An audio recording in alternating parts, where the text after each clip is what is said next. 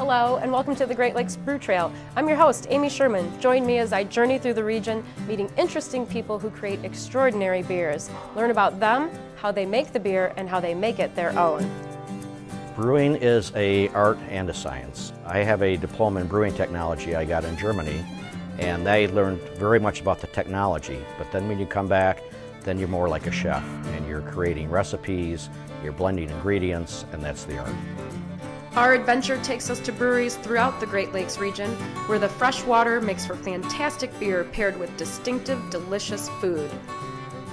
There's that diversity in beer that you don't get in wine, and the way that you can cook with it and then serve the beer with the food, it's just an amazing experience.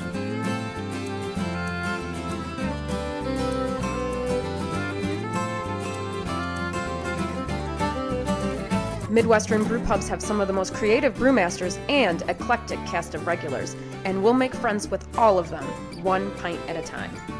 This is going to be an incredible journey, and I'm so glad you're going to join me as we meet these interesting brewmasters, as we try their great food, as we drink a lot of their beer. So come join me on the Great Lakes Brew Trail.